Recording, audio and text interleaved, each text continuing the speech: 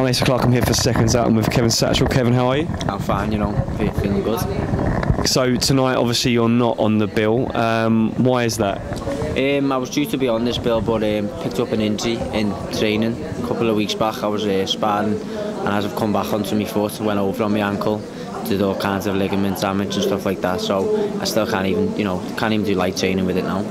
It's a shame because in the last fight, you, you performed very well. you, you absolutely battered the guy, and obviously now you're now you're out injured for a while. Is it frustrating? Yeah, it is. Like, because you know, especially when getting a new manager and all my fights lined up and all that, thought I was on a bit of a roll. So this is kind of a setback and that now.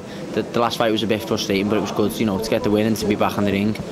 So yeah, it's kind of frustrating that I've had another, you know, an injury and, and it's going to be a while out now. And you said you've got new, you've got a new manager, correct? Yeah, yeah, Neil Marsh, my new man. Why why how comes you changed manager? Can you can you go into that real? Not really. Um, I don't really want to. I wouldn't like to talk about it. Just it just felt like it was time to move on and move on to someone different and all that. So that's all I'd like to say about it. Yeah. In regards to in regards to now, now, that that Neil's your manager, he's obviously got big, big big things lined up for you. Is there anything you could, which you can reveal to us which will happen for the next year? Um, well, no, I mean, I think I've got, I've only got one more defence to win the Brits outright. So after that, it's definitely definitely a case of I'm going to have to step up to the next level and obviously that's European or intercontinental so I'm hoping, I'm hoping, I'm hoping I could get the European after this fight, after this next defence. Mm.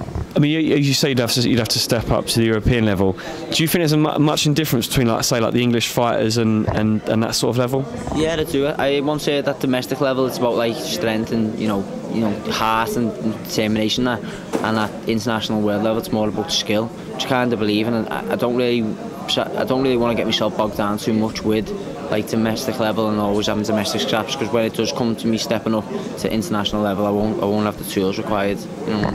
And, and does it make you make you a better fighter? Does it make you more more rounded if you like? Yeah, yeah, definitely. Because if I have to get like a tough scrap, I'm, I've already done that. But if I have to use a bit of skill and um, you know show off my moves, I, I'll have been able to Have been at that level, so I'll be, you know, a better fighter for it.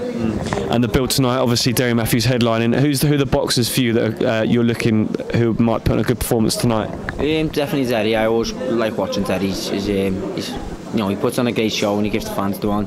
Uh, also, me, me uh, stablemate Nathan Brutt. He's uh, been looking tremendous in the gym and all that, and I think he's gonna he's gonna put on a great performance tonight. Also, um, a young Chris Eubank Jr. Um, everyone, everyone when, he, when you mention his name, they kind of give a little little smile. What do you reckon he'll be doing tonight? Same same thing he's always doing, showboating and you know putting a bit of a show on for the crowd and all that. He, you know, he's a born entertainer.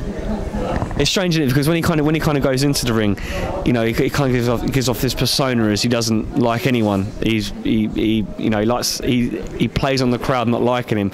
Do you think that kind of works into his favour sometimes? Um, yes, sometimes because then people he, he wants people to watch him. People want to watch him in case he gets knocked out, and that's why people. A bit like Naseem. Some people didn't like him because they want and he wanted to see him get knocked out. So it is going to help him. It's only going to build his fan base and or you know his ratings and his viewings because people want to see him get knocked out. So yeah, it does work to his advantage.